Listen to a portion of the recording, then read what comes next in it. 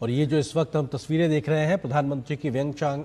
में मौजूदगी उस होटल में जहाँ प्रधानमंत्री पहुँचे, और हम जानते हैं कि भारत और लाओस के बीच में बहुत गहरे बौद्ध संप्रदाय के संबंध भी हैं, और ऐसे में बौद्ध समुदाय से जुड़े हुए तमाम लोगों की मौजूदगी, और प्रधानमंत्री मोदी उनके बीच में निश्चित तौर से दिखाता है कि जिस साझा विरासत और संस्कृति का हम ज़िक्र करते हैं, वो बहुत गहरी जड़ें इन दोनों देशों के बीच में है और उसी लिहाज से ये बेहद महत्वपूर्ण। कुछ तमाम एक तरीके से जो वहाँ पर प्रदर्शन भी है जो तमाम हमारी साझा विरासत के पुराविशेष मिलते हैं, उसका ज़िक्र है। और ये तमाम मुकुट जो है वहाँ पर होने वाली रामायण में जो अलग अलग किरदार पहनते हैं, चाहे वो भगवान राम हो, लक्ष्मण हो, माता सीता हो, उन सब के अलग प्रकार के मुकुट एक तरीके से सुशोभित है। उसका वो तस्वीर थी और अभी प्रधानमंत्री मोदी बौद्ध भिक्षुओं के बीच में मौजूद और वहाँ पे उनकी धार्मिक मान्यताओं के आधार पर उनके द्वारा किए जा रहे आदर सत्कार को स्वीकारते हुए प्रधानमंत्री मोदी स्वयं एक तरीके से हमेशा एक सम्मान प्रकट करते हैं हर धर्म विशेष के लिए लिहाज से। और जिस प्रकार से भी ये इस वक्त की जो तस्वीरें ये दिखाती तमाम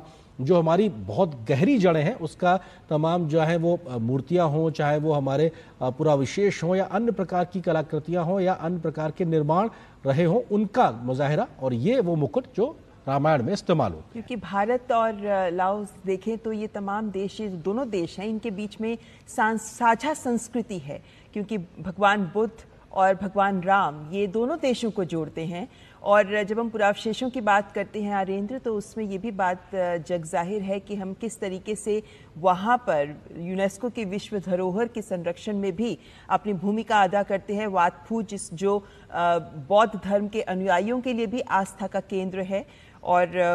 इस विश्व धरोहर के संरक्षण में भी भारत आगे बढ़कर काम कर रहा है। 2009 से ही ये काम शुरू हो चुका है और अब इसका दूसरा चरण है जिसका आरंभ हो रहा है और जो 2028 तक चलेगा। तो